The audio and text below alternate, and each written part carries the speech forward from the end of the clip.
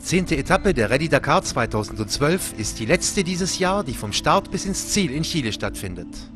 Auf dem Programm sind heute 377 Kilometer Spezialetappe über Dünen und weite Zonen von Feschfesch, dem hier typischen feinen Sand, der sich in jeder Fuge festsetzt.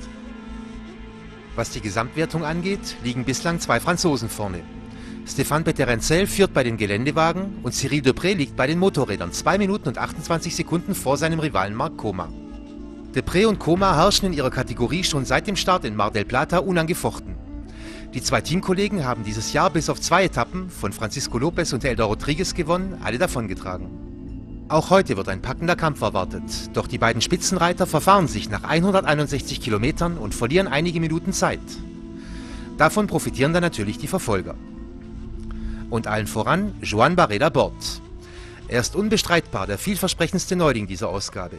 Immer auf den Ehrenplätzen, doch nie ganz vorne, fährt der junge Spanier trotz einer nach 35 Kilometern zugetogenen Fußverletzung ein sehr starkes Rennen. Er trägt die Etappe nach 4 Stunden, 18 Minuten und 43 Sekunden davon. Knapp anderthalb Minuten danach folgt Marc Coma.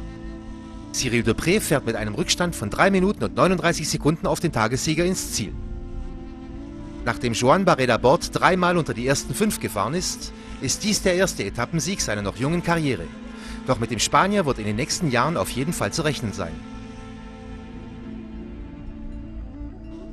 In der Gesamtwertung liegt Depré weiter vor Coma. Doch nur noch 21 Sekunden trennen die beiden Titelanwärter.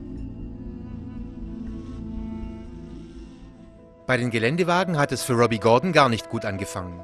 Die Rennkommissare haben gestern Abend festgestellt, dass sein Hammer mit der Nummer 303 nicht konform ist und der Amerikaner ist umgehend disqualifiziert worden. Gordon hat natürlich Einspruch erhoben und kann demnach heute doch an den Start.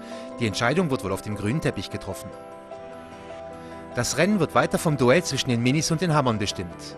Gordon und Beterancel liefern sich einen erbitterten Kampf. Sie überholen sich mehrmals gegenseitig an der Rennspitze, bevor Gordon einen Fahrfehler begeht und die Vorderseite seines Wagens beschädigt.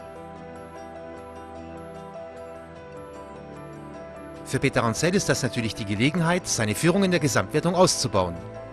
Doch da hat ein weiterer Mini, der des Spaniers Nani Roma, noch ein Wort mitzureden. Schon seit der ersten Etappe ist Roma immer regelmäßig vorne mit dabei.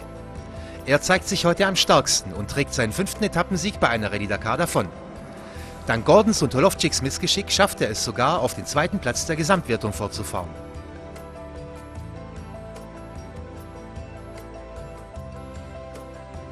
Und die wird immer noch von Stefan Peteroncel angeführt. Mit 19 Minuten Vorsprung vor dem zweiten Nani Roma kann der schon das Träumen anfangen.